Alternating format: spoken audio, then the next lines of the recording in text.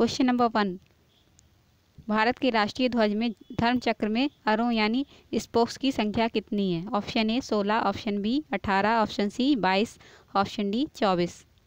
सही आंसर है option D चौबीस। क्वेश्चन नंबर टू भारत के कितने उच्च न्यायालयों की अधिकारिता में एक से अधिक राज्य हैं? संघ राज्य क्षेत्र शामिल नहीं है। ऑप्शन ए दो ऑप्शन बी तीन ऑप्शन सी चार, ऑप्शन डी पाँच। सही आंसर है ऑप्शन बी तीन।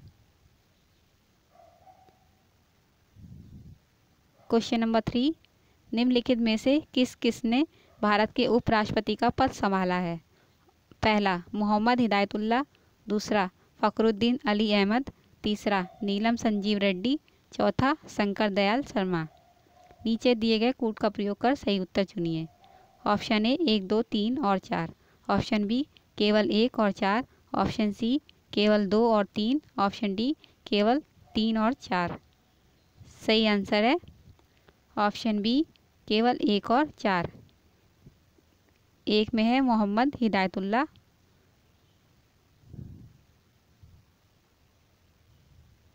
चार में है Shankar Dayal Sharma. Question number four. वर्ष उन्नीस सौ तिरपन में, जब आंध्र आंध्र राज्य एक अलग राज्य बना, तब उसकी राजधानी कौन बनी? Option A, Guntur, option B, Kurnool, option C, Nellore, option D, Warangal.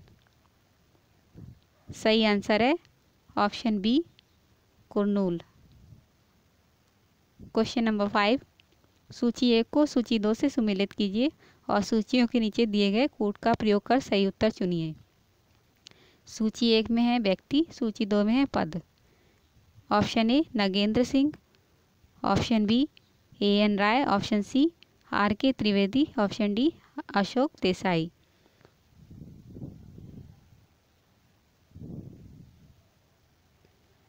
Nagendra Singh का होगा दो अध्यक्ष अंतर्राष्ट्रीय न्यायालय। ए एन राय का होगा भारत का मुख्य न्यायमूर्ति। आर के त्रिवेदी होगा। भारत के मुख्य निर्वाचन आयुक्त।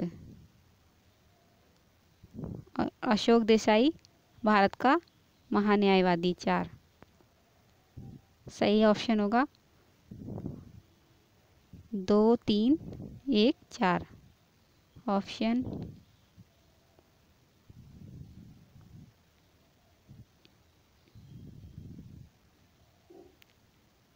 option B. Question number six. निम्नलिखित में से कौन सा एक लोकसभा का सर्वाधिक बड़ा क्षेत्रफल के अनुसार निर्वाचन क्षेत्र है? Option A, Kangra, option B, Ladakh, option C, Kutch, option D, Bhilwara. सही आंसर है option B, Ladakh.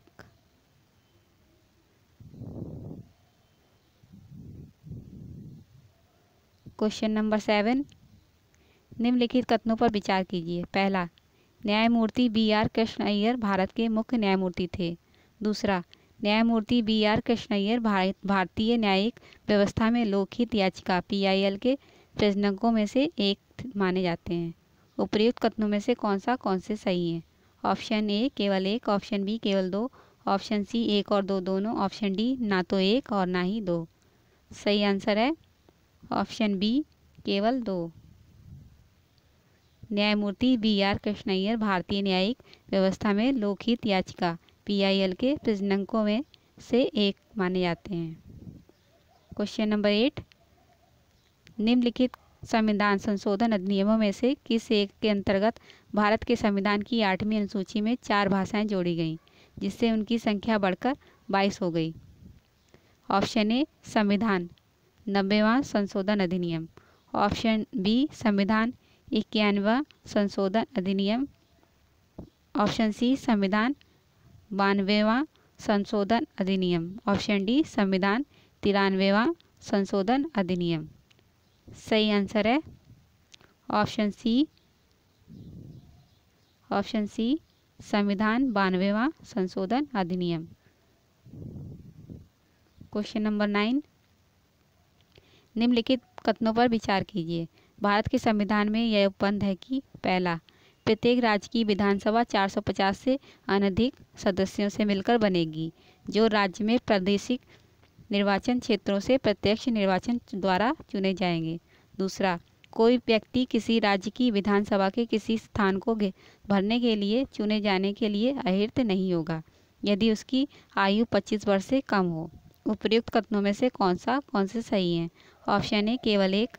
Option B, केवल दो। ऑप्शन सी, एक और दो दोनों। ऑप्शन डी, ना तो एक और ना ही दो।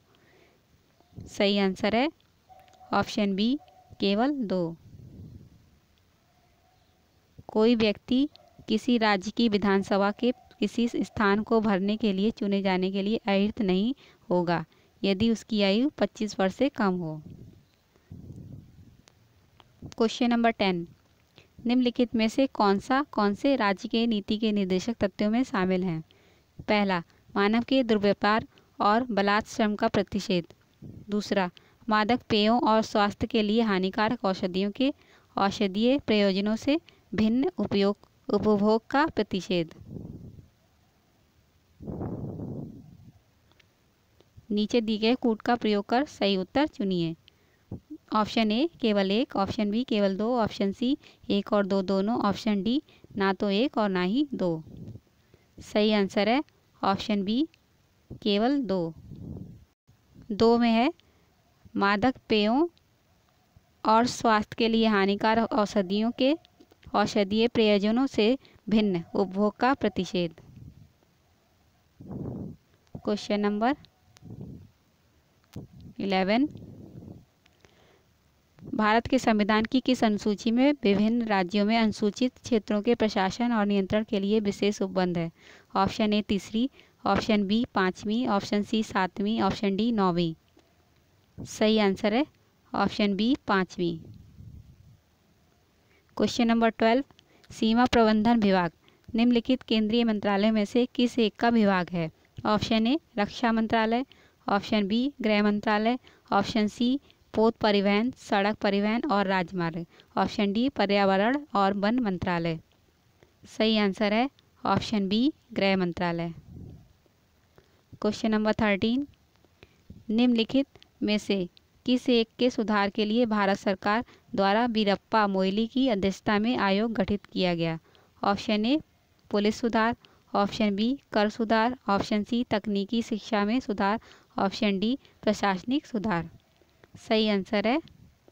ऑप्शन डी प्रशासनिक सुधार।